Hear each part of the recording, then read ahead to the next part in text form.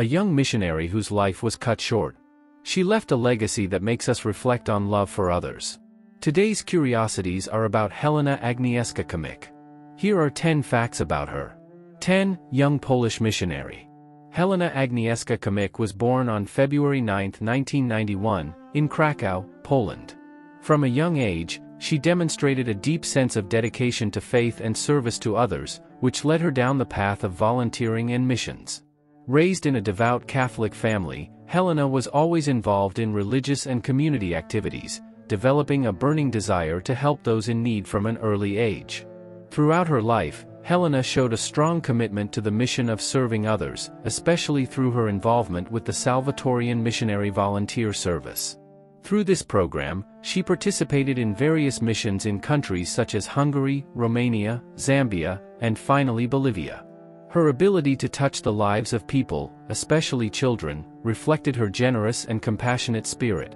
Her role as a missionary was not only charitable but also deeply spiritual. For Helena, her mission was to share God's love with those she encountered, and her Catholic faith was the central pillar of her life. She believed that the greatest gift she had received was the knowledge of God, and this gift, in her words, could not be kept to herself but should be spread to the world. If you haven't subscribed to the channel yet, please do so to not miss any curiosities about the saints. 9. International Education Helena had an impressive educational journey, marked by international opportunities that shaped her worldview and commitment to missionary service. One of the most significant milestones in her education was the scholarship she received to study at Lewis Tun School in the UK. During her time at this prestigious school, Helena not only enhanced her academic knowledge but also developed her interpersonal skills and her ability to adapt to new cultures, essential elements for her future missionary work. After completing her studies in the UK, Helena returned to Poland, where she continued her academic training at the Silesian University of Technology. There, she graduated in chemical engineering, a demanding field that required dedication and rigor. Her course was conducted in English, highlighting her command of the language and her ability to operate in a globalized environment. This technical knowledge, combined with her fluency in English, was a valuable asset during her international missions, where Helena was able to interact with diverse communities and cultures. 8. Intense Faith Life Helena lived an intense life of faith, where devotion to her religion occupied a central place in her routine. During her university years, Helena maintained the practice of attending daily Mass. This choice was not merely a habit but an expression of her deep connection with God and her conviction of the importance of nurturing her spiritual life amid academic challenges. Daily Mass was, for Helena, a moment of personal encounter with Christ, where she renewed her strength and determination to follow her vocation of serving others. Her constant participation in the Eucharist demonstrated her commitment to keeping the flame of her Catholic faith alive, something that was indispensable on her journey. Moreover, this time of prayer and reflection provided her with the serenity and clarity of spirit needed to face daily responsibilities, both in her studies and her missionary activities. 7. Missions Abroad Helena was a dedicated young missionary who devoted herself to various international missions throughout her life. Her altruistic spirit and willingness to serve others led her to travel to different countries, where she could apply her talents and skills for the benefit of the communities she encountered. Among Helena's most significant missions were her travels to Hungary, Zambia, and Romania. In Hungary, she became involved in projects aimed at providing educational and spiritual support to children and young people, organizing day camps that promoted not only learning but also strengthening faith. In Zambia, Helena worked with vulnerable children, offering English and math classes at care centers, while also conveying Christian values through the gospel. Her dedication and empathy touched the lives of those she interacted with, and many considered her an older sister. In each of these places, Helena not only contributed her skills but also learned from the local cultures and the realities faced by the communities. This enriching exchange reinforced her understanding of the importance of volunteering and solidarity, qualities she carried with her on each new mission. The climax of her missionary journey occurred during her trip to Bolivia, where she arrived with the intention of helping to prepare a preschool run by nuns. 6. The Tragic Murder the murder of Helena on January 24, 2017, in Bolivia, was a tragic event that shocked not only the Catholic community but also all those who knew her story and her work. Helena, then just 26 years old, was on a volunteer mission, dedicated to helping at a preschool run by nuns. Her life was brutally cut short when a criminal broke into the place where she worked and attacked her. This act of violence not only took the life of a young woman full of promise but also exposed the challenges and dangers that many missionaries face while dedicating themselves to serve vulnerable communities in various parts of the world. The context in which Helena was involved, characterized by a continuous struggle against poverty and crime, highlighted the fragility of life and the commitment that people like her assume to bring hope and help to those in greatest need. After the crime, Bolivian authorities conducted an investigation that led to the identification and arrest of the murderer. The assailant, Romualdo Mamio dos Santos, was sentenced to 30 years in prison, a decision that, while it does not bring Helena back, provided some form of justice for her family and the community that loved her. The conviction of the murderer was met with a mix of relief and sadness, as the pain of Helena's loss was still very present. However, Helena's death was not in vain. After her murder, her life and legacy became a source of inspiration for many. The Catholic community in Poland and elsewhere began to see Helena as an example of virtue and faith, leading to a growing recognition of her dedication to missionary service. 5. Beginning of the beatification process. The beatification process for Helena was officially initiated in May 2024, a significant milestone for the Catholic Church and for those who admired her life and service. The opening of the cause was proclaimed by the Archbishop of Krakow, Marek Jedraszewski, in a gesture that recognizes Helena's dedication and commitment to her faith and to others.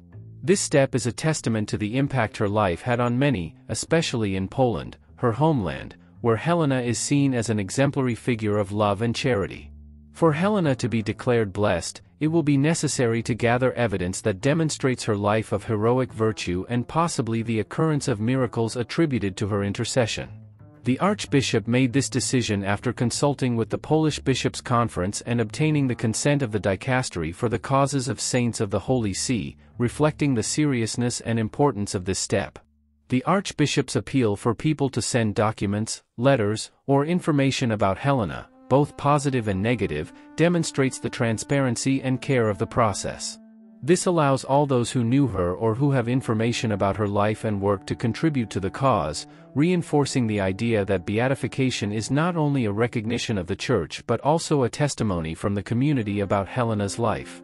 Since her death, Many have turned to Helena in prayer, recognizing her dedication and missionary spirit.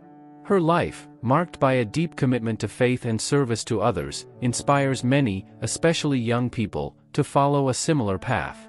As the process advances, the Catholic community eagerly awaits the steps that will lead to a possible official recognition of Helena as blessed, a status that would not only honor her memory but also reinforce the legacy of her missionary work and her unwavering love for humanity.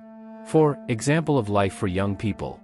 Helena's legacy as a missionary, volunteer, and fervent Catholic is an inspiring example for young people in Poland and around the world. Her life is a testament to the power of service and commitment to faith, reflecting the importance of living according to spiritual and human values in a world that often faces challenges and uncertainties. Moreover, Helena is seen as a model of spiritual life.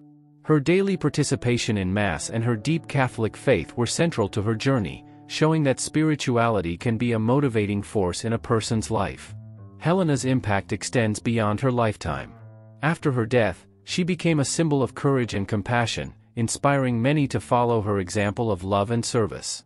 The Archbishop of Krakow and other church leaders emphasized the importance of her legacy, encouraging young people to engage in missionary and volunteer activities, thereby reflecting Helena's life.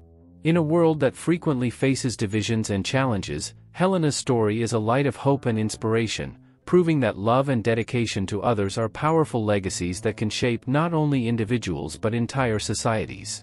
3. Similarity to Carlo Acutis. Helena is often compared to Blessed Carlo Acutis, a young Catholic who also dedicated his life to faith and service. This comparison is not just about similarities in the ages they lived but also reflects their deep spiritual convictions and commitment to evangelization. Both shared a special love for the Eucharist, recognizing it as the center of their spiritual lives. For Helena, daily participation in Mass was an essential practice that nourished her faith and connected her to God and the community. Similarly, Carlo Acutis was known for his devotion to the Eucharist, often describing it as his highway to heaven. This dedication to the celebration of the Eucharist exemplifies how both viewed the importance of communion with Christ as a fundamental element of their spiritual journey. Additionally, Helena and Carlo used social media as tools for evangelization, recognizing the power of these platforms to reach and impact others. Carlo became famous for his ability to use technology to spread the message of the gospel, creating websites and projects that promoted catechesis and understanding of the Catholic faith. Helena, in turn, also used these tools to inspire young people and share her missionary experience, encouraging others to engage in service activities and live an active life of faith.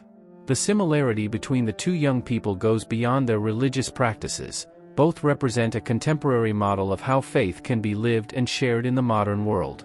The life of Helena, like that of Carlo, shows that youth can be a time of spiritual fervor and significant impact on society, regardless of circumstances. 2. Religion in the family. Religion played a central role in Helena's life, and this devotion had deep roots in her family. From an early age, Helena was surrounded by an environment that valued the Catholic faith, reflecting the tradition and spirituality that permeated her home. Her family was known for its deep devotion, with religious practices being an integral part of their daily life. One of the most notable members of her family was Bishop Jan Zajac, her great-uncle, a respected figure in the Catholic Church in Poland. His position and influence within the church helped shape the religious environment in which Helena grew up. The Kmiec family home was adorned with religious icons, a sign of the spirituality that permeated their household. These icons, which often depict important figures of the Catholic faith, were not just decorative elements but also symbols of the family's spiritual heritage. The practice of faith in Helena's family went beyond superficial traditions, it was an essential part of their lives family prayers, participation in celebrations, and involvement in church activities were common, reinforcing Christian values and creating a sense of community and belonging. This strong religious foundation not only shaped Helena's life but also influenced her vocation as a missionary and volunteer. 1. Posthumous recognition. After Helena's tragic death, her legacy of compassion and service to others was significantly recognized by the Polish government. In honor of her social work and unwavering dedication to those in need, Helena was posthumously awarded the Gold Cross of Merit. This honor is one of the highest distinctions awarded in Poland, intended to recognize acts of courage and exceptional service for the benefit of society. Her life was marked by efforts on behalf of the most needy, from her youth to her missions abroad, where she dedicated herself to helping impoverished communities. The posthumous recognition of her social contribution highlights the importance of service to others and solidarity, values that Helena embodied in her life. This honor not only celebrates Helena's life but also serves as an inspiration for others, encouraging them to follow her example of altruism and dedication to the well-being of others. The Gold Cross of Merit symbolizes Polish society's gratitude for those who, like Helena, make a difference in a world that often lacks compassion and empathy. Helena's life and death have become a testament to the transformative power of love and faith, resonating deeply in society and in the hearts of those who seek to do good. And we have reached the end of another story full of curiosities. Don't forget to leave in the comments the curiosities about which saint you would like to see here on the channel. Until the next story.